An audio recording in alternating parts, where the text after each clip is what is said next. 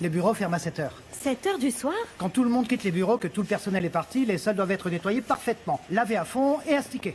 Et surtout, les toilettes doivent être reluisantes, ma fille, n'est-ce pas? Monsieur, et vous payez combien?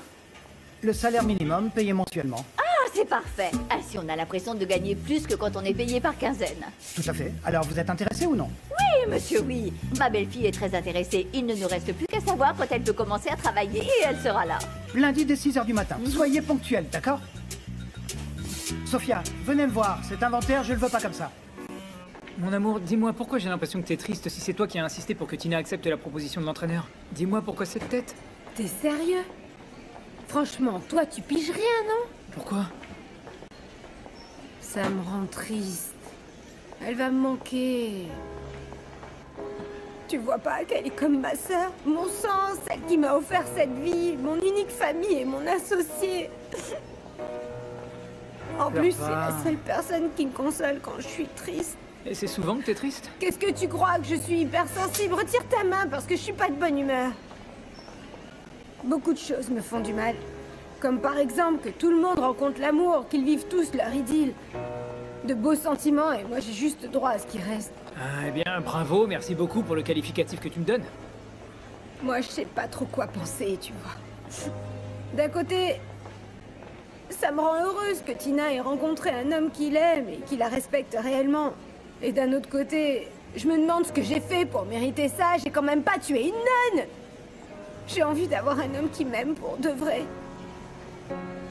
Eh ben moi, je suis là pourquoi alors?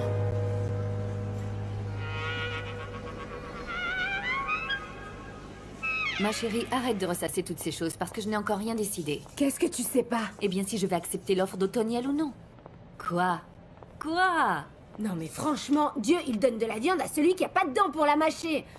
Je te comprends pas, princesse. Vraiment, je te comprends pas. Là-bas, ce sera la belle vie.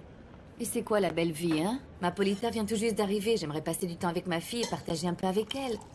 Et puis, ce qu'il y a, Quoi, quoi? Je ne sais pas. Je n'arrive pas encore à m'imaginer comment cela va se passer. J'aime Otoniel. C'est un homme bon et bien plus encore. Mais Yuya de là a décidé de vivre ensemble Hein? Je ne sais pas, j'ai l'impression que c'est précipité. Précipité? Toi, ça te paraît précipité alors que t'as eu cinq années pour le cerner? Voyons, imagine que je parte. Dis-moi une petite chose. Qu'est-ce que nous allons faire du business? Je pense que tu t'es rendu compte que les banques nous prêteront pas un centime. À mon avis, la meilleure option à choisir est de céder le local pour ne pas perdre encore plus. Comment, Yuya? N'oublie pas que nous lui devons encore de l'argent à Chuchu Wang. Et sors-toi de la tête que je vais t'abandonner seule avec ce fardeau sur les bras. Merci pour le service que tu me rends. Bonjour.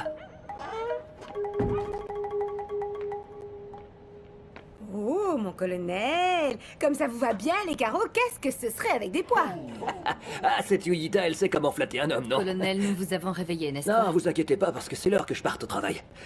Euh, mais j'ai pas pu m'empêcher d'écouter ce que vous disiez. Ah, j'imagine, parce qu'ici nous avons Madame Yuya qui s'égosille comme si elle avait deux porte-voix dans chaque poumon. Ben voyons, parce que toi tu parles à voix basse, n'est-ce pas pas, aussi fort hein? que toi, ma chérie, Euh, crois-moi. mademoiselle, j'ai cru comprendre que ce qui vous embête en ce moment, c'est de trouver de l'argent pour remonter le business, c'est ça? Bah ouais. Oui, monsieur. J'ai une solution pour vous. Laquelle? Vous avez besoin d'un associé capitaliste.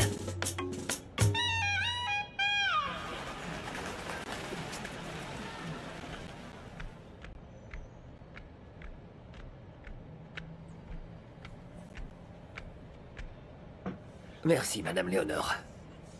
Euh, En fait, je me suis dit que c'était peut-être la meilleure façon pour moi de pouvoir enfin partir à la retraite une bonne fois pour toutes, n'est-ce pas? Partir à la retraite.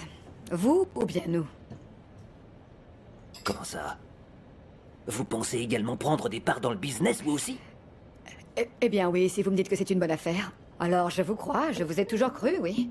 Vous pouvez compter sur moi pour... pour quoi que ce soit.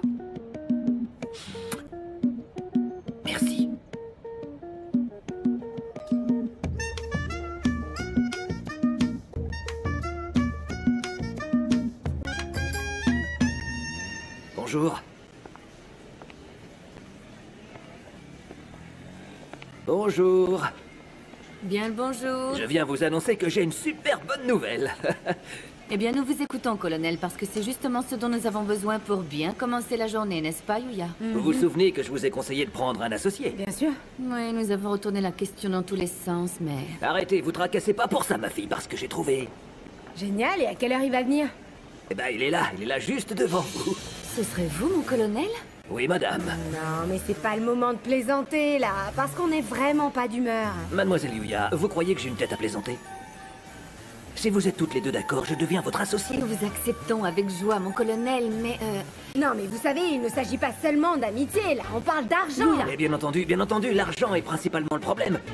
Ce qui se passe, c'est que j'ai quelques économies et j'en ai trouvé d'autres aussi. Regardez-moi la patte folle. Mon colonel, cela signifie que l'on peut déjà compter dessus et qu'on peut commencer à acheter la Oui, marchandise. ma petite dame, dès que vous le souhaiterez, cher associé. Ah, cher associé, soyez le bienvenu, merci beaucoup. Ah là là, ah, ça me fait plaisir. Dis-moi, on dirait bien que maintenant tu vas pouvoir accepter la proposition de la coulée bras. Très bien, très